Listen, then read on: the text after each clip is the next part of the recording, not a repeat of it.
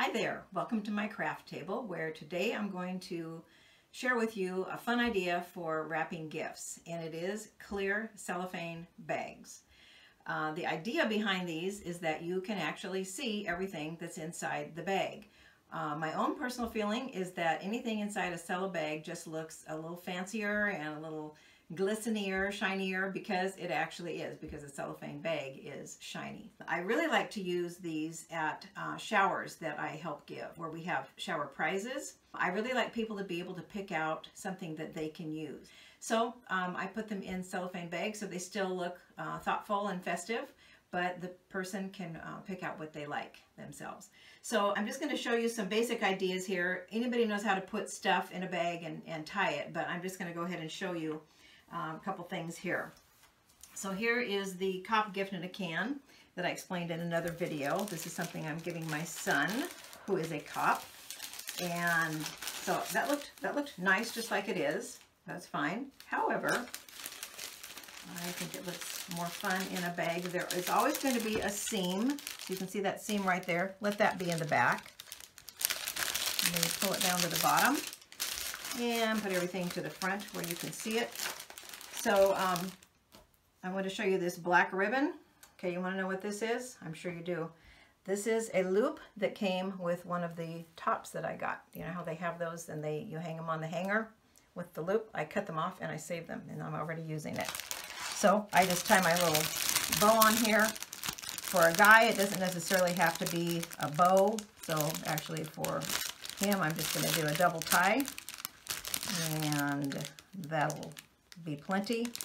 The tag is already inside, so he already knows it's for him. And then once I put that on top, I like spreading it out so it just looks a little more fun. And I'll trim that off, both sides. And there I've got one, okay? So now another thing I like to do is get mugs and put other little gifts in them. So I've got a little towel and uh, some gloves for the shower. So I will put everything in here.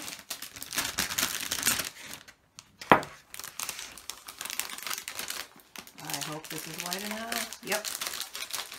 Okay.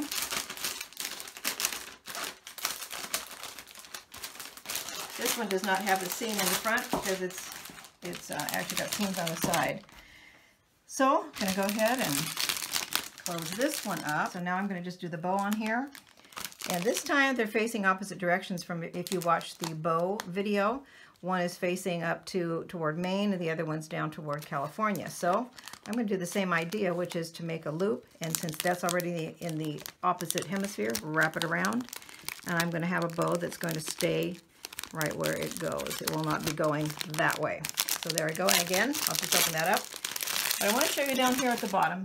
This, this is fine. Sometimes it ends up being bigger down at the bottom. So what I do is I take those little corners and I'll pull them in. A little piece of tape on there. Pull it in. Same thing on the other side. And it just looks a little bit more finished. It's a little bit nicer. Like that and pull in. So there, a little bit more finished look then. Okay, so there's that one. And then I've got another one here, which um, this is just a bundle of things. It's, it's several different books and then a gift card. Those can all go in. I don't need to actually put them in, but um, that's another idea. And then the same idea here for another gift in a can is, uh, is to just put it in the bag and then put another bow on the top. So, so there you go. Thanks for watching.